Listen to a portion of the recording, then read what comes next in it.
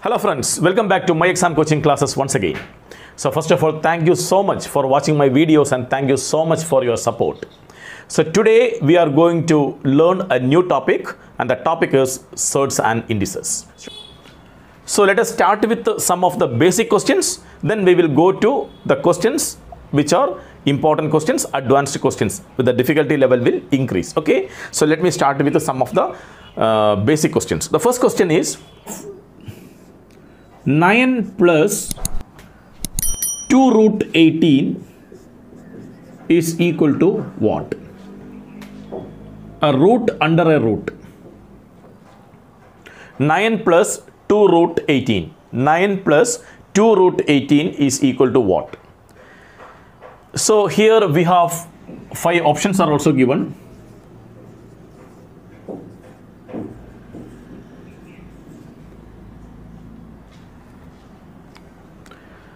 The options are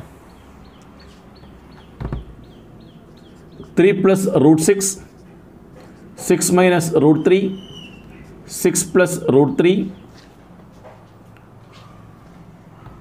root 6 plus root 3 and none of this. Five options are also given to you. We have to solve 9 plus 2 root 18 is equal to what? So understand this very very clearly. Once I explain this, then this type of questions will be very easy for you. Next time when you see this type of question, directly you can write the answer. There's a shortcut method for solving this type of question. So understand what is the shortcut method for solving this type of question. So first of all, see, make sure that this number is 2. Step number 1. Make sure that this number is 2. So step number 1 is what? Step number 1 is we have to make sure that the number is 2. Check the question, understand the concept very clearly. If the number is not 2, you have to make it 2. If the number given is not 2, you have to make it 2. Then only you can use this shortcut method. So what is the shortcut method here? First, make sure that the given number here is 2. That is number 1 step. After that, this 18, this number 18, we have to divide in two parts. What are the factors of 18? We can write 1 18s are 18. We can write 2 9s are 18. We can write 3 6 are 18.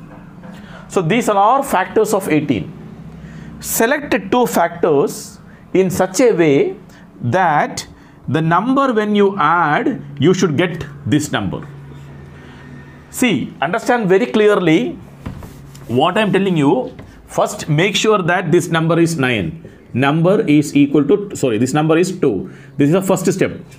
What you have to do, first ensure that this number is 2. So that is over. Second, what you have to do, split this number 18 18 you have to split into two fa two factors. The factors when you add you should get this number 9 so what i'm telling 18 factors are what? 1 into 18 is 18 so 1 and 18 are factors. But 1 and 18 when you add you will get 19 so this you cannot take. Second is 2 into 9 2 nines are 18 so 2 plus 9 11 we want 9 so this i cannot take. Then 3 into 6 is equal to 18 so 3 into 6 18 3 plus 6 9 yes i can take this. 3 and 6 are the factors. 3 and 6 are the factors. So what i can do? This 18 this 18 i will make as 6 and 3 this 18 i will make as 6 and 3 18 in equal to 6 into 3 and I am getting 6 plus 3 is equal to 9. So I have selected factors in such a way, I have selected the factors of 18 in such a way, when you add these two numbers, you should get 9. Understand very very clearly this type of question. The first step, make sure this number is 2. Make sure this number is 2. What is the next step? Take the factors of these two factors of this number and the two numbers when you add you should get 9 So 6 plus 3, you are getting 9. So make sure this is 2 and take the factors 9. Now the answer is here the take the first number root 6. If this is plus, put plus, take root 3. So this is your final answer. So root 6 plus root 3, here you can see this is the correct answer.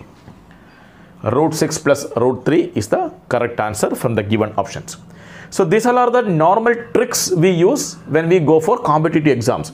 So this type of questions, if you know the trick, then it is easy for you and these all are the questions where you can save a lot of time. So before going to the question, before going to the exam hall, solve, practice this type of questions. By looking at the question directly, you can write the answer. You need not to see this all things. Here it is 9, here it is 18, so 6 and 3. So write 6 and 3 then here it is plus put plus and put both the answers in root this is your final answer so very very important trick and very very important question and students who don't know this this trick know they will be leaving this question thinking that this is a tough question. Okay? So understand this this concept very clearly and then practice. Kindly note it. We'll go with more and more questions like this.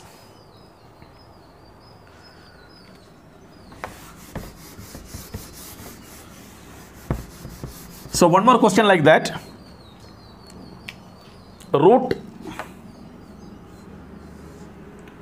8 plus 2 root 15 is equal to what? So now again four options are given, four, four, five options are given. The fifth option is always none of this and what are the options given root 3 minus root 5 5 plus root 3 5 minus root 3 root 5 plus root 3 now by looking at the question directly you can write the answer from the given options okay you understood what's a trick here this number is 8 this number is 15 First what we have to make sure this number is 2. Yes, this number is 2. Now you can split this 15 in two fractions. So 15 can be written as what? 15 can be written as 1 into 15 plus 1 into 15 you will not get 8. 1 into 15 is equal to 15. When you add these two numbers you will not get 8. Next you can say 5 into 3. 5 into 3 is 15. When you add 5 into 3, you are getting 8. So you can split this 15 as 5 and 3. So your answer will be 5 and 3. Here it is plus. So answer also will be plus and put both the numbers in root. So root 5 plus root 3. So this is the correct answer. Root 5 plus root 3. So this type of questions will become very easy for you now once you practice with the some more questions okay so kindly note it so next question root of 14 plus 8 root 3 14 plus 8 root 3 and options are given.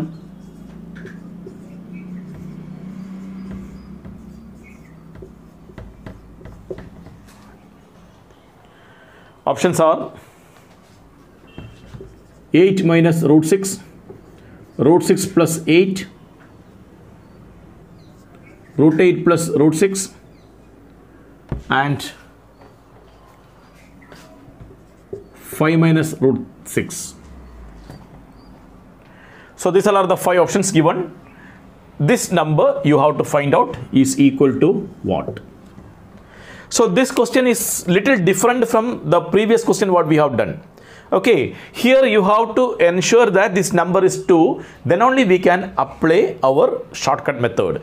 Understand very clearly, this number we have to ensure that this number is 2 then only we can apply the shortcut method. In the previous question you have already seen this number was 2 but here it is 8. So ensure that that number is 2. How to do that? For, for that we can write this question as root of 14 plus this 8 I can write 2 into 4 root 3. 8 I can write 2 into 4. Understand very clearly, we want 2 here. What is our first step? Ensure that this number is 2. But here in this particular question, this number is not 2, it is 8. So we have to make it 2. To make it 2, I will split this number 2 like 2 into 4. Okay, so 2 into 4, 8. Now what I want? I want this 14 here plus only 2 here. This 4 will go inside. 4 will go inside. When, see here you can say 4 root 3. When a number goes inside, it will go as a power. So what is 4 power? Here it will become 16. This 4 will go inside, root inside a root as a power. Then only when it come outside, it will be 4. Root 16 is equal to 4. So this 4 when it go inside the root, the number 4 will become 16. So what is 3 into 16? Root 48. So I can write here 2 will be here. This 4 will go inside. So it will become root 3 into 16. That means root of 14 plus 2 root 3 16s are 48. Now the question is in the required form. Here we have number 2. So now you can apply the shortcut method. What's the shortcut method? We have to see, we have to see the factors of 48. The two numbers, when you add, you should get 14. So I can take it as 8 and 6. 8 plus 6, 14. 8 into 6, 48. So write the answer 8 and 6. Here it is plus. So answer also will be plus and put root in both the numbers. So root 8 plus root 6 will be the answer. So from here the given option I can mark root 8 plus root 6 as the correct answer. So one of the very important thing you have to remember here is whenever you see the question ensure that this number is 2. Here it is 8. So directly you cannot apply the trick here make sure this number is 2 split the given number in such a way that we will get 2 in every question this number will be a even number. Then only we can split it. So accordingly questions are set. So there is no question of a odd number here. What will come if 7 comes here? What will come if 11 comes here? Generally even numbers only will come. Odd numbers will not come in your exam questions. If you take a previous year question papers you will always get a even number. Why? Because then only we can split this into this fashion. Okay? So there is no question why what will happen when a odd number comes there. No. Normally generally it comes only a even number. So kindly note it